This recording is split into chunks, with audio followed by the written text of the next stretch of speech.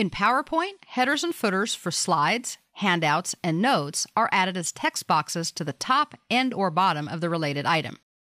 Unlike regular text boxes though, we don't type information directly into them. Instead, PowerPoint provides a fill in the blank style window into which we can designate which elements we want to include. We can display this window while working in our masters, or if we're working in the regular view, we can go to the Insert tab, over to the text group, and click or tap the header and footer option. The window actually provides two different tabs, one for slides and one for notes and handouts. Since we were looking at a slide from the slide view, the slide tab was selected. If we would have been in notes and handouts when we did this, the other tab would have been selected. We want to make sure that we're adding a header or footer on a slide. Now, I have to admit, I am not a big fan of using headers and footers on typical slides. To me, and it is just my opinion, the usual date and time and subject information just isn't relevant to show during most presentations. People know what they're looking at and why they're looking at it. The option to show slide numbers could be useful, I suppose, during discussions or Q&A sessions, but they're generally not important to show on screen during the presentation itself. Now, there certainly are exceptions, and some presentations lend themselves more readily to these pieces of information being more important than others. So we'll go ahead and use them when they're appropriate, but probably not for every presentation. Including this information on your slides simply adds clutter, so unless they're necessary, leave them off. In this presentation, though, we have an opportunity to do something that can be useful not only for students, but for any professional who needs to credit or annotate their sources. In this case, this particular slide is talking about the Gettysburg Address. Let's go ahead and add a credit for that at the bottom of our slide. Instead of creating a completely separate text box that we then have to move and align and all of that good stuff, we can use the footer to do that instead. Now, because we're also trying to get an idea of what these things do, we're also going to go ahead and include a couple other pieces so we can see how they look. First, we can add the date and time by using the checkbox. Then we have two options. We can either say update it automatically, in other words, so it always matches the system or the computer date and time, or we can put in a fixed date. That would be important if we were showing dates on, say, statistics where they were captured at a specific date and time, and we needed to make sure that that date and time was noted. We'll go ahead and say update automatically, and then we'll choose the format that we want.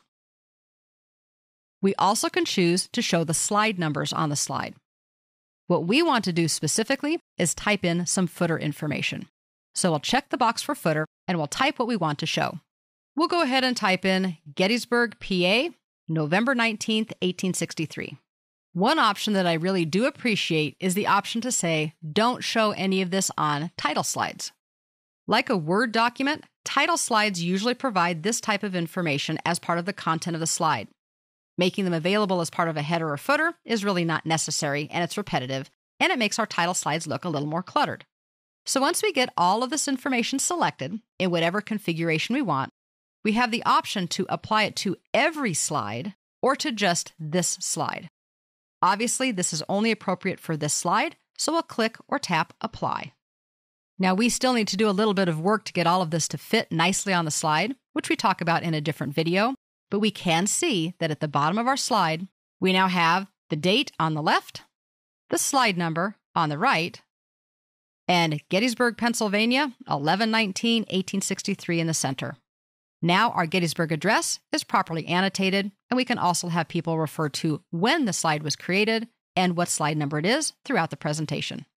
So the information is designated in the headers and footers window, but it can all be formatted on the slide like any other text box. We can select the text, we can apply italics, we can change the font, we can add colors. Usually, the formatting of headers and footers is done on the master, but it can be done on an individual slide as well. In order to see how that's going to work, our last act will be to go ahead and move this other text box up a little bit to get it out of the way. And that allows us to come back down and to actually select and work with the footer formatting itself. It's important to remember that the purpose of headers and footers is to provide identifying information, generally across multiple pages, without having to recreate them each time. In PowerPoint, they can be applied to slides, notes, and handouts. Handouts should always clearly identify the source of the information and sometimes the date it was presented. Slides don't always require this information, but on occasion they do as well. Sometimes they need annotations, for which footers provide an easy to use and already formatted location. When you're creating your presentation, consider the use of headers and footers to provide this identifying information to your audience. Using a single window and maybe a little bit of formatting, we can easily designate which information we want to appear and apply it to a single slide or all of the slides in our presentation.